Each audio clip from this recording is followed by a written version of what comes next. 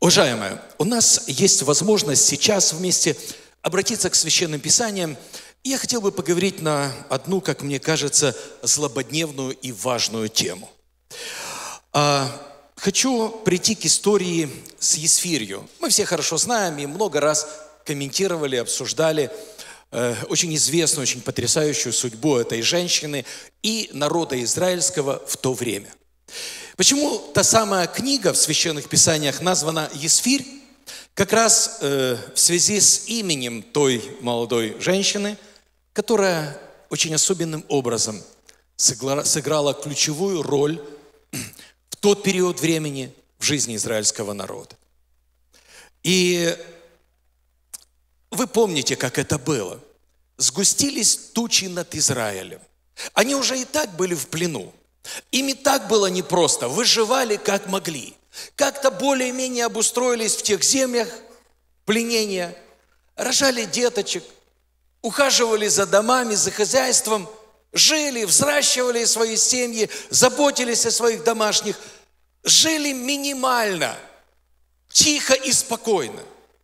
И кажется, даже там среди, среди плена, среди разрухи, Мало того, дьявол снова воздвигает гонение и не просто жить скудно или хорошо.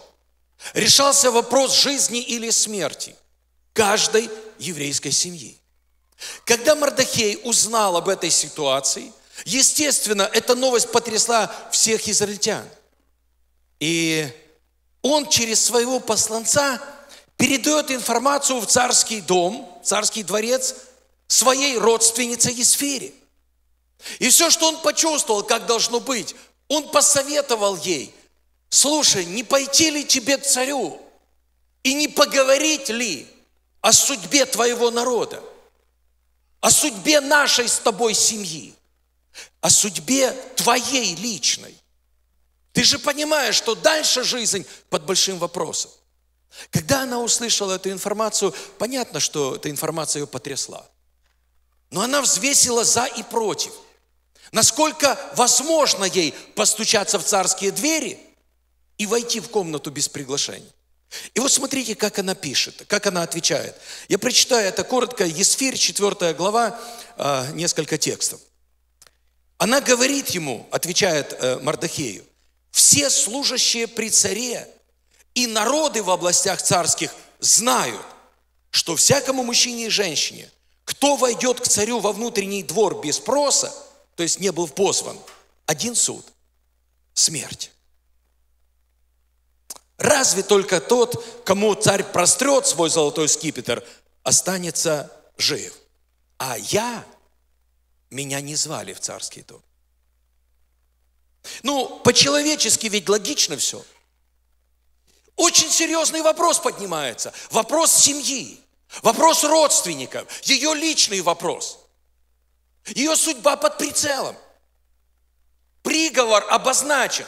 Смерть. Ни больше, ни меньше.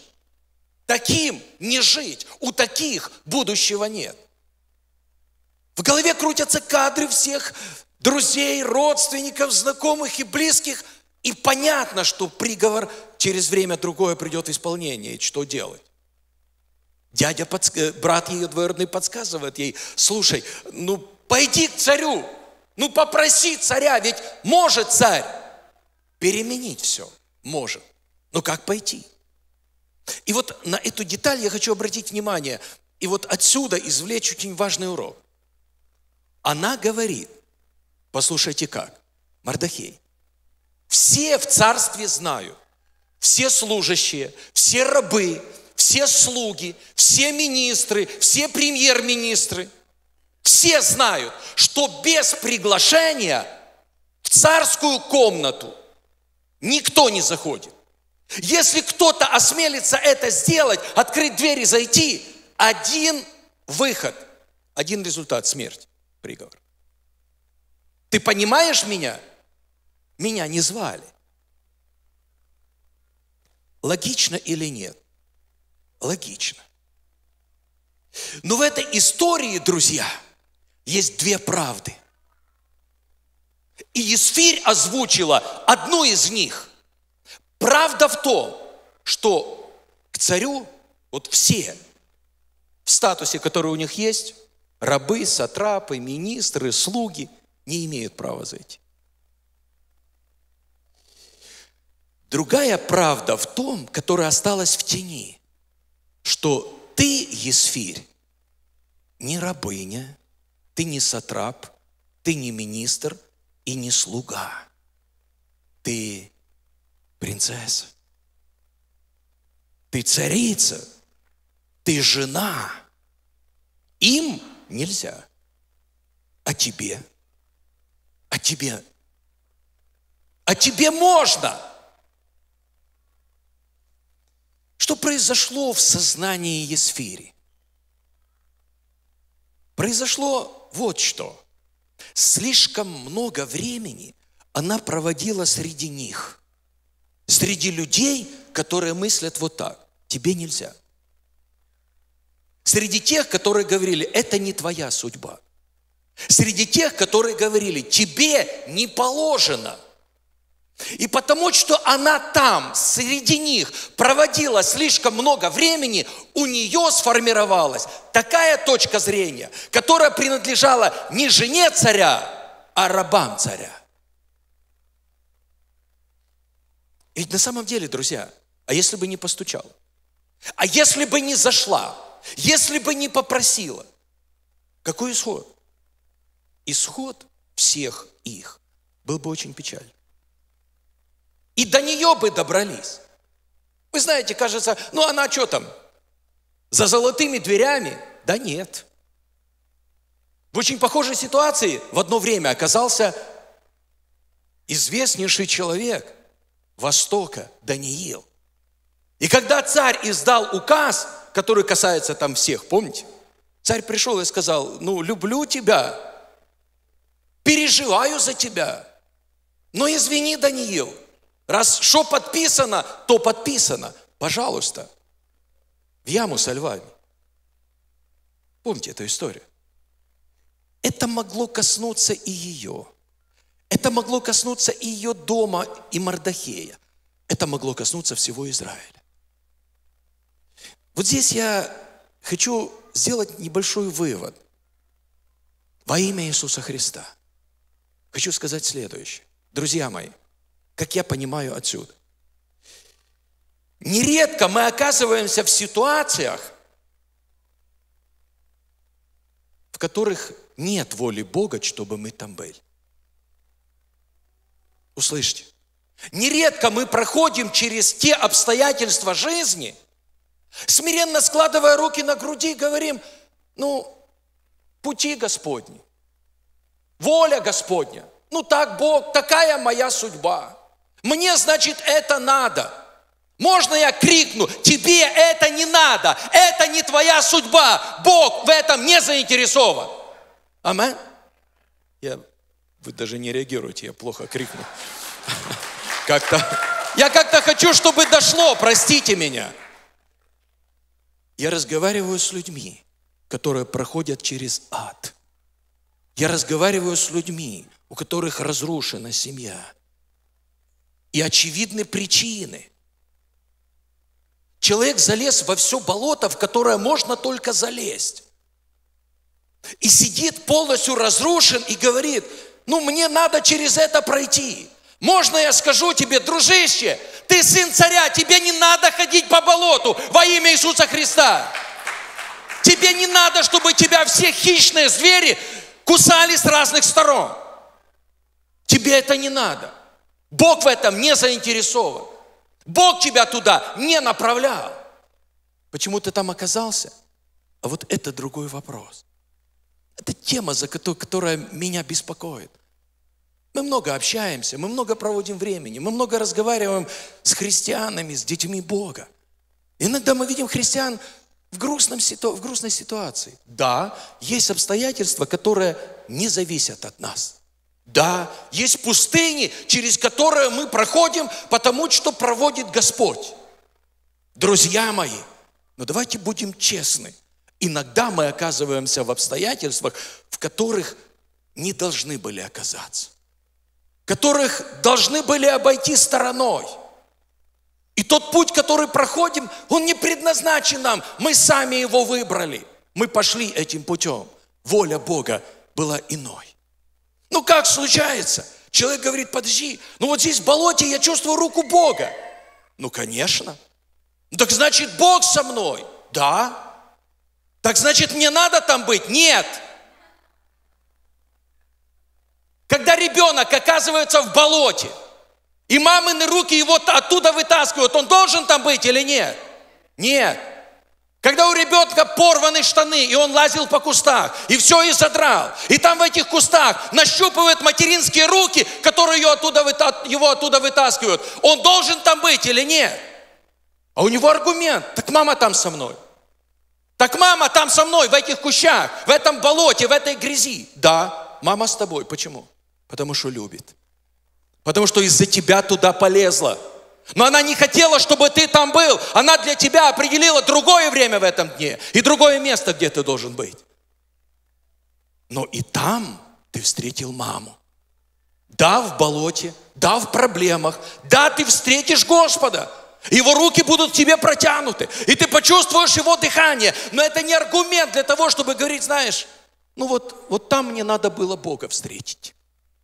Слава Богу, что его там встретил в болоте. Но можно было встретить его не там. И встречу для тебя он назначал не там. Вопрос выбора. Вопрос выбора. Какую главную мысль я хочу отсюда извлечь? Снова возвращаюсь к этой, к этой истории. Есфирь находится, смотрите, с одной стороны, один голос от Святого Духа, голос от Мардахея, который говорит, дорогая, постучи в дверь, зайди, ты имеешь право, ты жена царя. И она в это же время слышит 10, 15, 25 голосов вокруг. Все шумит, как в улье. Нельзя заходить. Это не твоя судьба. Ты не имеешь права. Ты будешь наказана. И чувствуете, как бы силы даже не равны. Потому что голос от Бога звучит в сердце, и столько шума вопреки, столько грохота вопреки. И что она должна сделать? Ее битва в ее голове. Вот здесь пульт управления, и именно вот здесь она должна принять решение, входить в эту дверь или не входить. Рассчитывать на Божье чудо, на Божье освобождение, на Божье исцеление, на Божью сверхъестественную помощь или принять судьбу такую, как она есть. И влочиться, как все. Потому что все так. Тетка моя так болела. Дядька мой так умирал. Мама моя через это проходила. И в нашей деревне все такие. И откуда мне вышли? Генетика у нас такая. Это печать на нас. Это проклятие на нас родовое. И можно это бесконечно продолжать. Друзья мои, друзья мои. Но голос Мардахея говорит, вставай. Вставай, подними лицо, подбородочек подними. Видишь дверь, стучись. И бесы будут тебе говорить, ты не имеешь права. У тебя нету на что рассчитывать. Тебе не помогут, тебя не услышат, к тебе на помощь не придут. Но голос Духа Святого будет продолжать говорить тебе, стучи, иди, открывай эту дверь, заходи к царю царей, Господу господствующих, откуда придет помощь для тебя. У Бога есть для тебя чудо. У Бога есть для тебя помощь и ответ. Что в этой истории очень важно? Пульт управления нашей жизнью находится здесь, где мы принимаем решения. В этих страстях, в этой борьбе, в этих противоречиях. Вы знаете, когда еще молодым уехал миссионером, и мы там проповедовали, встречались с разными людьми, и мы встречались с разными людьми, и знали одну семью. Он хирург. Очень профессиональный, толковый молодой человек. В то время врачи жили бедно, и он подрабатывал, как и все. И вот они поехали машиной таскать из другой местности, чтобы здесь перепродавать. Уснул, и случилась авария. Все целые, их там вдвоем были, они вдвоем были. Все, ничего, как-то по касательной ударились, машина не очень пострадала. Рядом человек тоже не очень пострадал, э, э, который был за рулем, а он в это время задремал, расслабился, и когда произошел удар, он о стойку ударился головой. В общем-то, синячок даже небольшой был. Но удар был в какое-то очень ответственное место. И после этого, ну, извините, как у нас говорят, ну, человек стал как, как овощ, без движения. Мычал. Я его знал до того, и я пришел к нему в больницу после того. Ничего не сломано, никакая косточка, ни пальчик, нигде никаких повреждений. Свежий розовый человек, но получил удар в то место, куда нельзя получать удар. Не знаю, как это объяснить, нарушен вестибулярный аппарат, что-нибудь еще, но нет координации движений. Отсюда не идут импульсы и сигналы, команды не идут в тело, тело не двигается. Хотя кости крепкие, мышцы крепкие. Вчера еще спортивный человек, все. Очень точный удар был в очень опасное место. Когда я смотрел на него, я помню, тогда вспомнил нашего прадедушку – Адама. Когда он был в Эдемском саду, все было хорошо. Господь предложил для него невероятная хорошая возможность. И Бог сказал ему правила, которые должны были организовывать и дисциплинировать его хорошую там жизнь.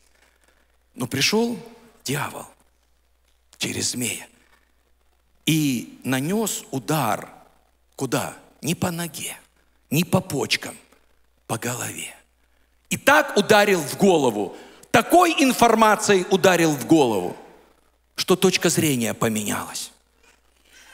И то, что он обходил стороной, он на этом завис. Удар получился как? По голове. Сдвинулась вся парадигма жизни. И Адам с Евой стали смотреть по-другому. Ева вдруг сказала, подожди, так а почему мы не можем? Так а что это такое? Так а я не согласна. Так а почему ограничения наложены? Так а я хочу. Счастья нет в жизни. Вот если отсюда еще с этого дерева не поем, вот нет счастья в жизни. Ева, ты вчера была счастлива? Да. Третьего дня была счастлива? Да. Устраивало тебя все? Да. Получала наслаждение? Да. Комфортно было? Да. Почему счастье пропало? По голове получил. По голове получила, счастье пропало. Все, что есть, уже не радует. Птицы поют не так, солнце светит не так, облака и тучи не такие. Что случилось? Что поменялось? Ничего не поменялось. По голове ударили. И все. Это серьезный вопрос. Знаете, почему я о нем говорю? Я процитирую апостола Павла для авторитетности моих слов. Апостол Павел говорит о травмах нашего мозга, о травмах нашего разума. Он говорит, когда человек, когда мы получаем травму, у нас наш ум становится поврежденным. В другом месте Писания оскверненным, Павел говорит. В третьем месте превратным. В четвертом ослепленный. В пятом помраченный. Это серьезные вещи. Когда апостол Павел в священных писаниях так много времени говорит вот о чем. Друзья, дети Божьи, вы, которым суждена судьба с небес, вы, которые пришли к Богу, чтобы следовать за Богом полноценной благословенной жизнью. Будьте осторожны, потому что противник, ваш дьявол, ходит как рыкающий лев и пытается вот так же, как когда-то ударил дедушке по голове, ударить тебе. И потом, и потом разум становится поврежденным. Все нормально, только разум поврежденный. И ты смотришь, человек красиво одет. И ты смотришь, у человека столько талантов. И ты смотришь, человек так правильно ходит, все нормально. Но что-то не то. Апостол Павел говорит, иногда, знаете, кто ездит по вечерам, когда дальним светом влупят тебя и все. Мгновение, и ты не видишь, куда ехать. И ты или в ту канаву слетаешь, или в ту канаву слетаешь. И говорят, ослепили. Апостол Павел говорит, иногда бывают ситуации в жизни, когда твой разум, твое восприятие реальности становится ослепленным, становится извращенным, превратным. Нередко люди живут нормально, все, потом что-то приходит в жизни настолько извращенно. Ну, все вот так, ему надо поперек. Все вот так, Жена говорит, я не узнаю мужа. Что с ним случилось? У нас были одинаковые ценности. Мы любили Бога, шли в церковь, жили правильно. Все, надо извращения, кто его знает какие. Не узнаю жену. Было все ровно, нормально. Были друзья, были родственниками. Все пере, переконфликтовалось. Везде со всеми. Нету контакта, нету восприятия своих, чужих, ближних. Что происходит? Друзья мои, Жизнь очень сложна. Мы много времени уделяем, какую воду пить. Мы много времени уделяем, чтобы немножечко подтянуть э, с весом. Мы много времени уделяем всякие там добавки, там, чтобы что-то как-то э, со здоровьем. Ну и это неплохо, и это правильно. Но о чем я сегодня говорю, главная моя мысль, друзья. На основании этой истории с Есфирью я увидел, как непросто было ей. С одной стороны, она получала информацию от Бога, которая ее направляла через трудности к победам. И столько грязной, неправильной, неправедной, смутной информации было вокруг, что она засомневалась. Она отвечает Мардахею и говорит, но ты неправильно мне говоришь, я не могу войти в ту дверь. Почему? Царица подгрузилась настолько, что теперь она не чувствует внутри себя уверенности открыть дверь и зайти в спальную комнату к своему мужу или в парадную. Вот как бывает. Друзья мои, мы дети Божьи. Однажды Иисус Христос на кресте умер за все наши грехи. Он разрушил всякое наше проклятие. Он дал нам благословение будущего. Он назвал нас своими детьми. Он сказал, когда ты встаешь передо мной, начинай твою молитву со слов «Отец мой, который на небесах». И потом в Священном Писании он говорит, если сын или дочь попросит хлеба, разве отец подаст камень? Он проясняет нам наши отношения с Господом. И вдруг в нашей жизни происходят сбои мы как-то теряемся. Мы как-то по-другому начинаем смотреть на все. У нас есть ценности священного писания. У нас есть ориентиры священного писания. У нас есть определенные авторитеты, на которые мы опираемся. И проходит время, и вдруг ты встречаешь человека, ближнего, брата, сестру, и он мыслит совершенно другими категориями. Ты же понимаешь, что есть система координат, есть система ценностей, есть система как категорий, есть система авторитетов. И в этом плане живет христианское общество. Вот это важно, во-первых. Вот это важно, во-вторых. Вот так правильно, во-первых. Вот так правильно, во-вторых. И вдруг у человека начинает все меняться. Попала какая-то скверна? Возможно. Пришло ослепление разума? Возможно. Через какие вещи? Очень много разных путей. Но из священных писаний, друзья, мы видим, что есть дьявол, враг человеческих душ, который заинтересован ударить по очень главному месту. Не по пятке, не по коленке, не по ноге. Промахивается иногда, иногда по коленке достается. Но его цель не по коленке. Его цель не по пятке. Его цель ударить сюда. Чтобы, если что, сбилась парадигма, сбилась система координат. И потом вроде как бы ты встаешь, как Самсон, встану, как прежде, а силы нет. Буду двигаться, как прежде, но не получается. Буду давать команду моим рукам, ногам, а не идет все.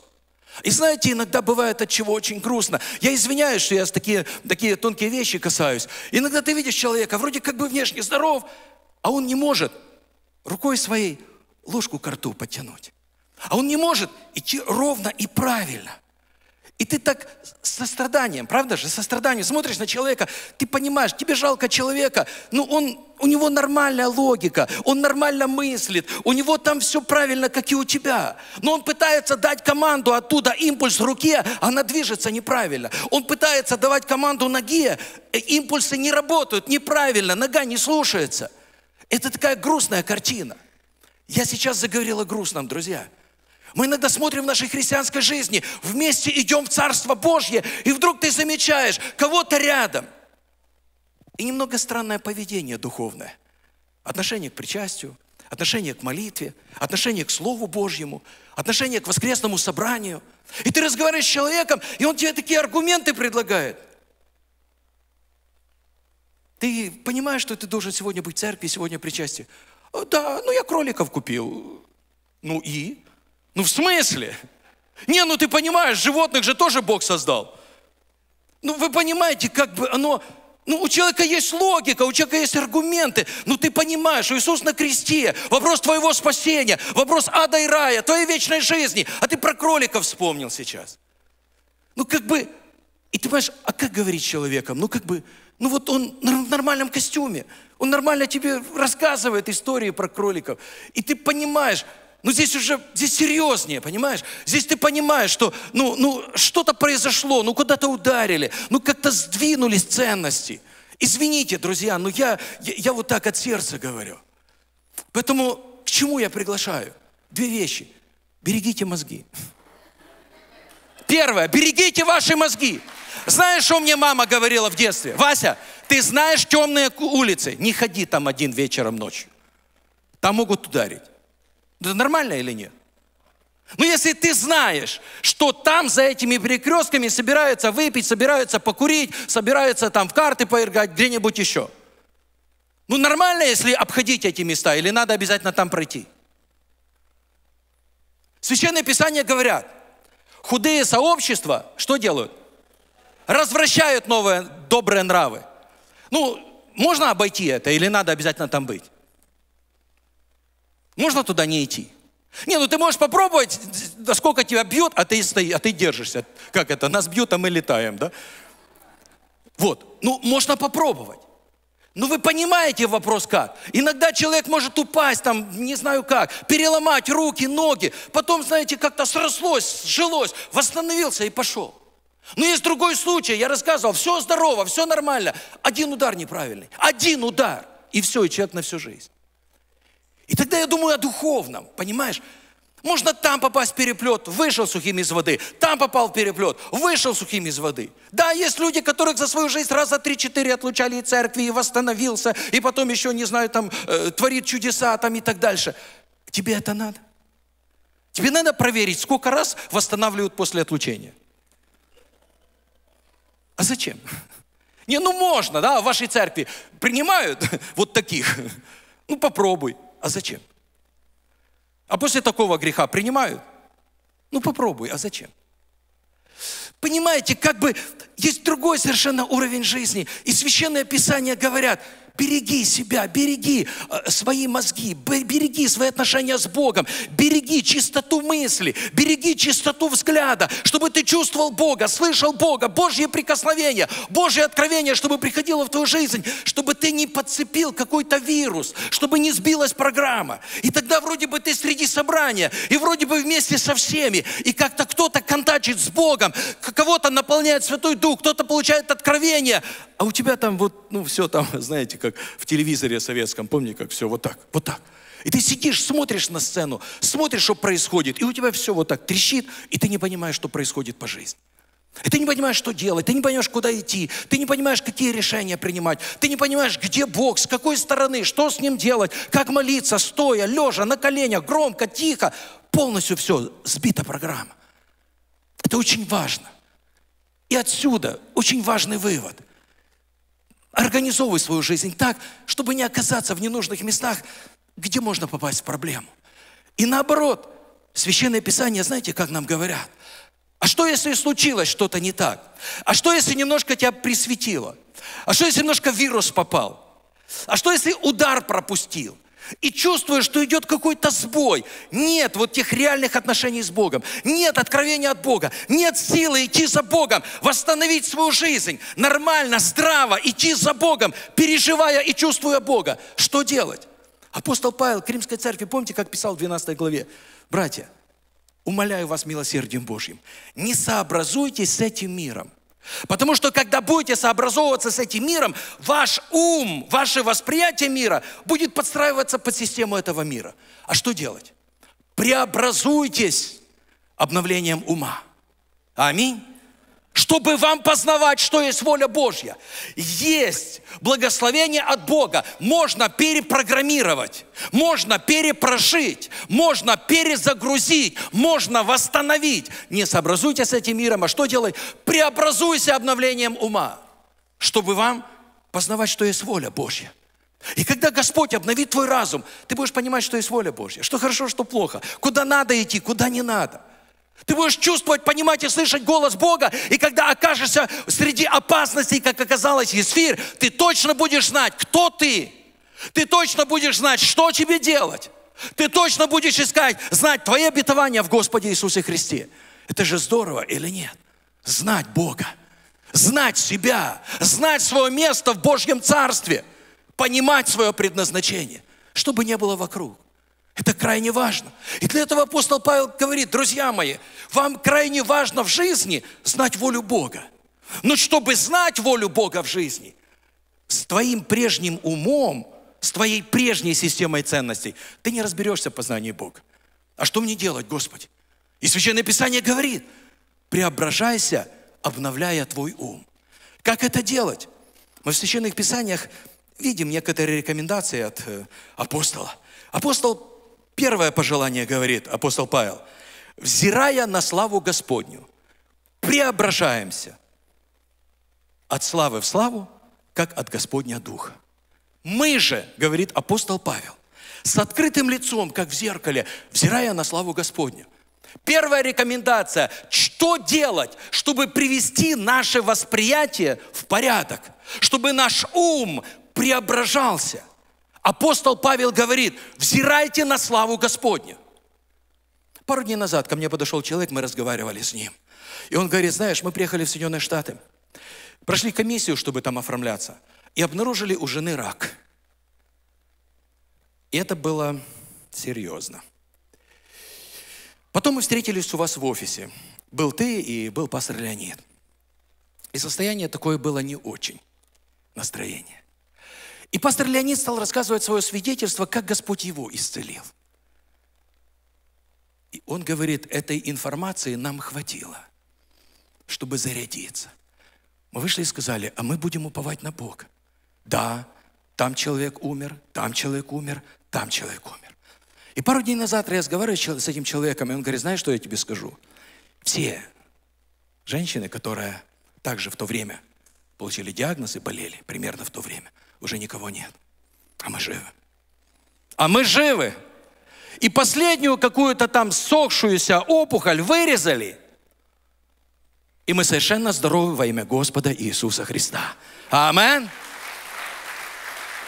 Слышите, что говорит Павел? Взирая на славу Господню. Можно перевести это на русский язык. Ты можешь 15 человек знать, твоих знакомых, родственников, селян, которые умерли от этой болезни. Это тебе не поможет. Знаешь, что тебе нужно? Взирать на славу Божью. Ты знаешь, что Господь исцелил пастора Леонида. Напросись к нему на чай, проведи с ним вечер. Молитвенно и трепетно открой свое сердце, и пусть он расскажет о славе Божьей. Ты найдешь еще одного человека, которого Господь исцелил. Туда доберись. Ты ходи по всех людях, которые видели Божью славу. Пусть они рассказывают тебе часами, часами, часами, часами о Божьей славе, о величии Бога. Найди дедушку, найди бабушку, которые в своей жизни видели славу Божью. Выброси телефон, телевизор, пойди к этой бабушке, сядь тихонечко на краю стульчика, и пусть она расскажет свою жизнь и Божью славу в ее жизни. И чем больше ты будешь наполнять твой разум славой Божьей, чем больше твои мозги будут пропитываться славой Божьей, тем больше твоя вера будет возрастать. Ты будешь по-другому смотреть на Господа Иисуса Христа. По-другому будешь воспринимать мир. Друзья мои, правда другая. Мы должны приходить к истинам Божьим. Второе, что говорит Священное Писание. Священное Писание говорит, а, что мы обновляемся Духом Святым. Наш ум обновляется Святым Духом. Это значит что? Это значит, что есть атмосфера присутствия Божьего, атмосфера молитвы, Атмосфера, где ты можешь наполниться Святым Духом. Атмосфера, где ты можешь размышлять о Нем.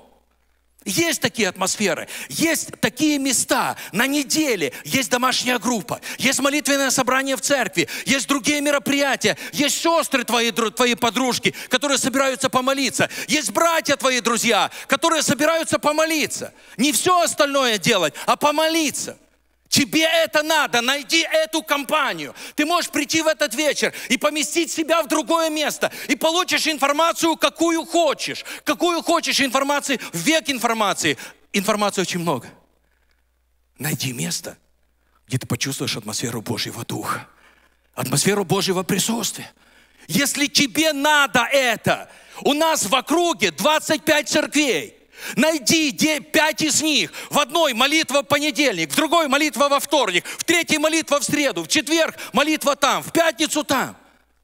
Если тебе нужен Святой Дух, и ты чувствуешь, что ты один засыхаешь, сделай для себя скетч. Ходи по этих молитвенных собраниях. Наполняйся Святым Духом, слушай, что Господь говорит. Слушай, как Господь движется. Позволь Святому Духу наполнить твое сердце.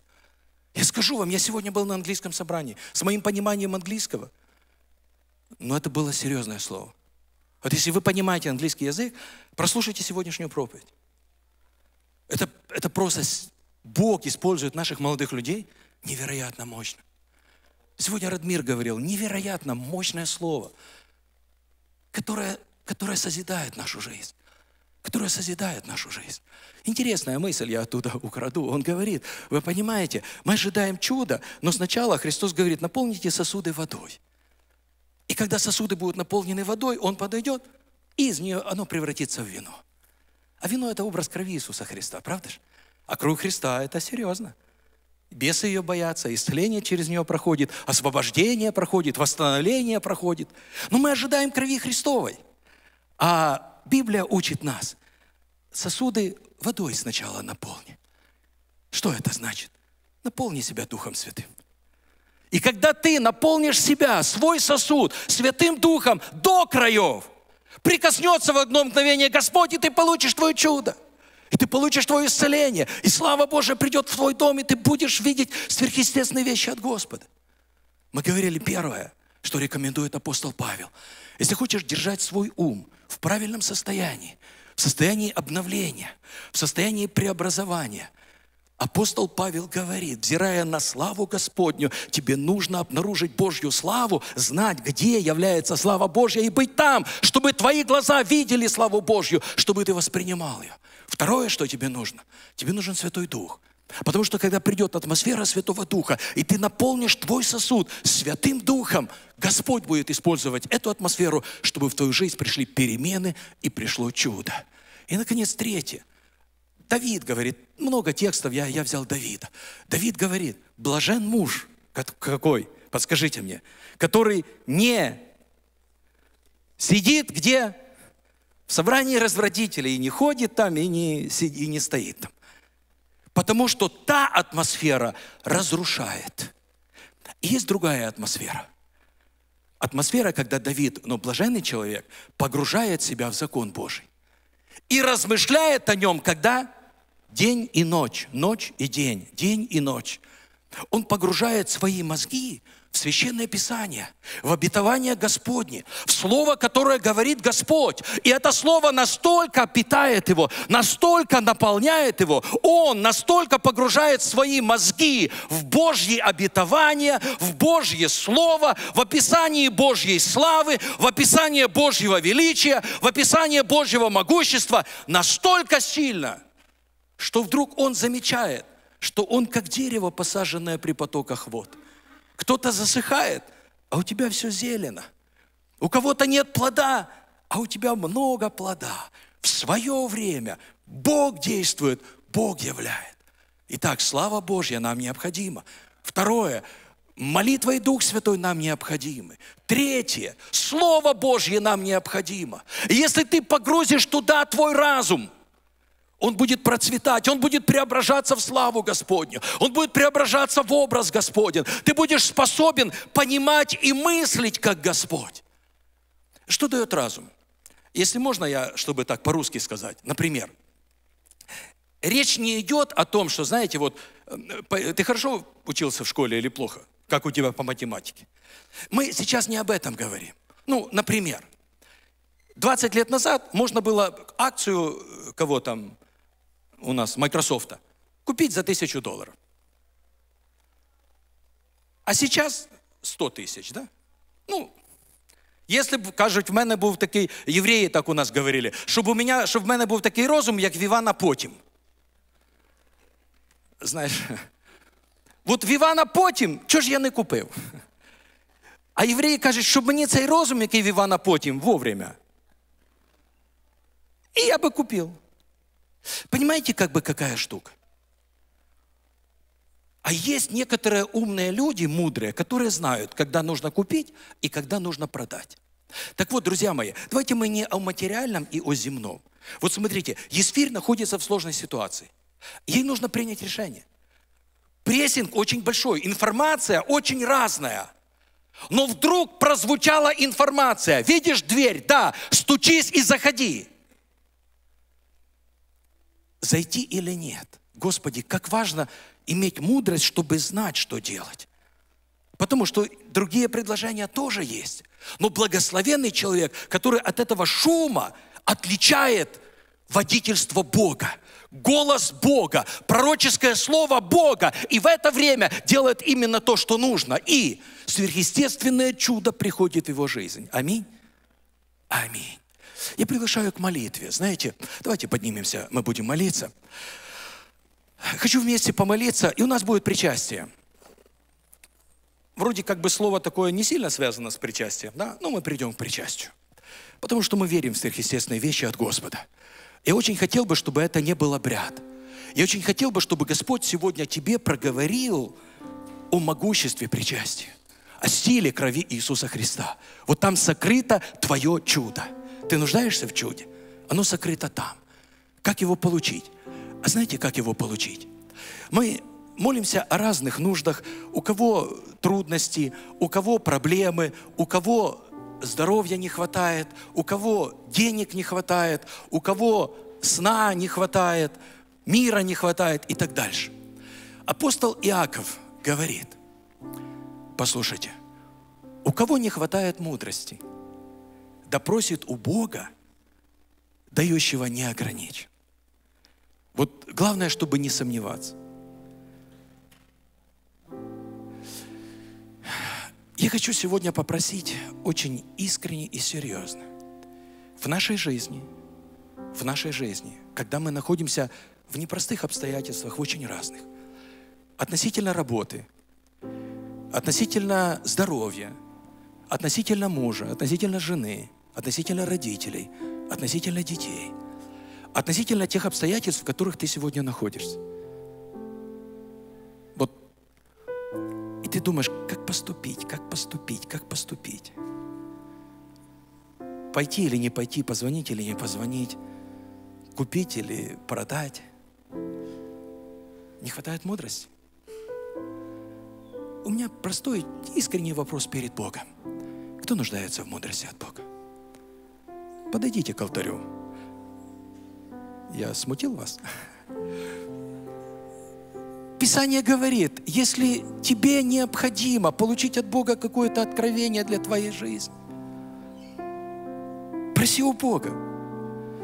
Нелечка, стань вместо меня, а ты вместо себя стала.